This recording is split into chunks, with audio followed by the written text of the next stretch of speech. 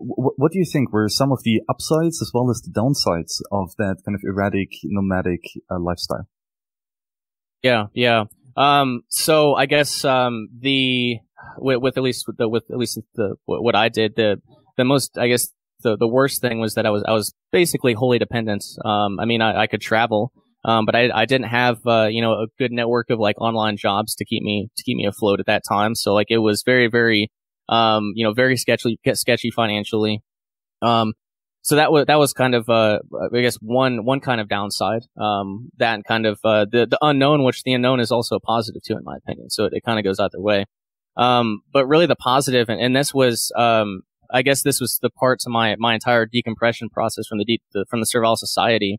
Um, like really like a like a and, and I noticed this myself, but with people when you're in a you know nine to five job, um, you know forty hours a week forever um, and you're always within that servile society mindset, you know, go, go, go, survive, survive, survive. Um, you know, like it's, it's very, like it, it's, um, you don't really have a lot, to, a whole lot of time to think about anything else, right?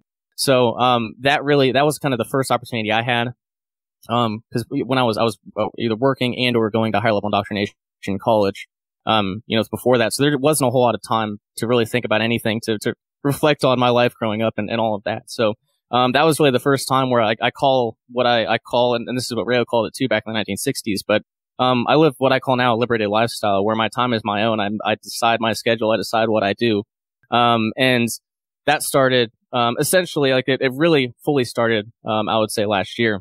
But that, that was kind of the first opportunity I had for, for a, a multiple month span, um, to really start going through that. So, so yeah, that was a major upside, a major upside that even though, um, it was, uh, tumultuous, even though it was, um, you know, very dicey at times, um, like there was, my time was my own still. And, and there was a lot of value in that. There was a lot of, you know, even through kind of the chaos, there was that, um, kind of that, that kind of calm, you know, that, that, the freedom was, I, I could kind of feel that, that little, I guess that, that hint of freedom.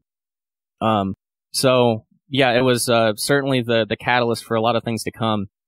And, um, yeah, I'm th- trying to think of any other up- upsides or downsides that come to mind, but not, not really. I mean, that was the biggest upside. And the other, the, the other one, which is just kind of obvious when you, when you, um, uh, if, if you're in, a, if you're in a position like I was, that's just kind of, you're, you're going to deal with, um, you know, money might be tight, but at the same time, like there's, there's, there's other benefits too.